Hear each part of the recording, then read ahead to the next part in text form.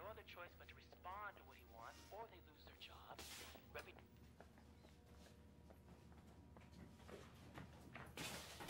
Ooh.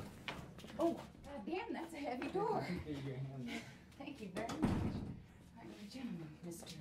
Oh, well, uh, Scott. Mr. Scott. Pleased to meet you. I'm Erin. Aaron. Erin. Cool. What can I do for you, Erin? Believe it or not, I'm on the prowl for some water records. You come to the right place. I guess I did.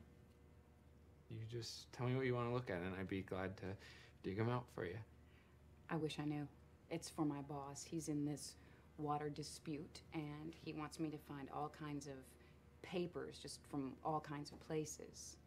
Um, mm, you know, it would probably be easiest I just squeezed back there and poked around myself. Would that be all right with you?